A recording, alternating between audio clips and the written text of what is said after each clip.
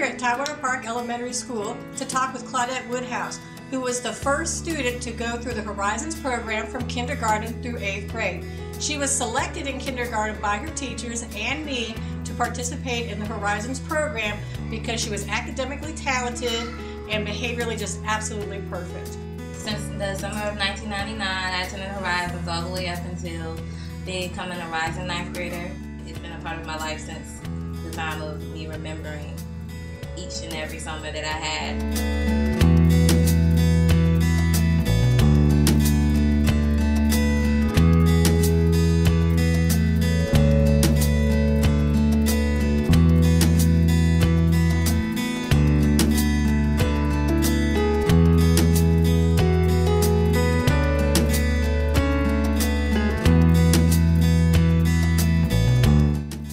We're excited about our program for this summer.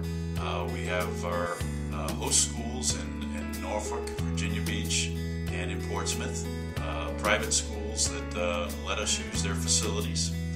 Every child that comes aboard gets to do such things as, as swimming. We swim four days a week. That's a big part of our program, uh, in addition to the academic benefits.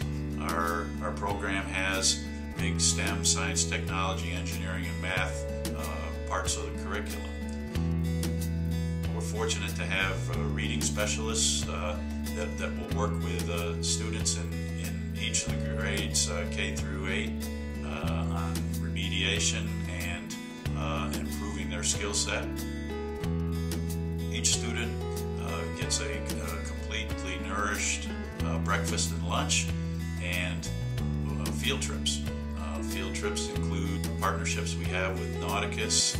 This summer we're, we're going to the uh, Virginia Aquarium.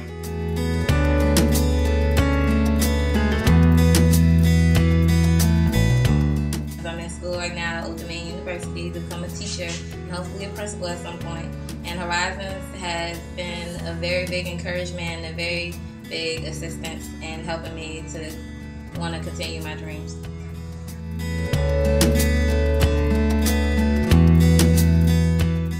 working with the students and the and a talented staff and watching the children progress from um, in six weeks uh, watching them smile watching them enjoy getting off the bus every you know every morning wanting to be there um, learning swimming the field trips the lunches are fabulous.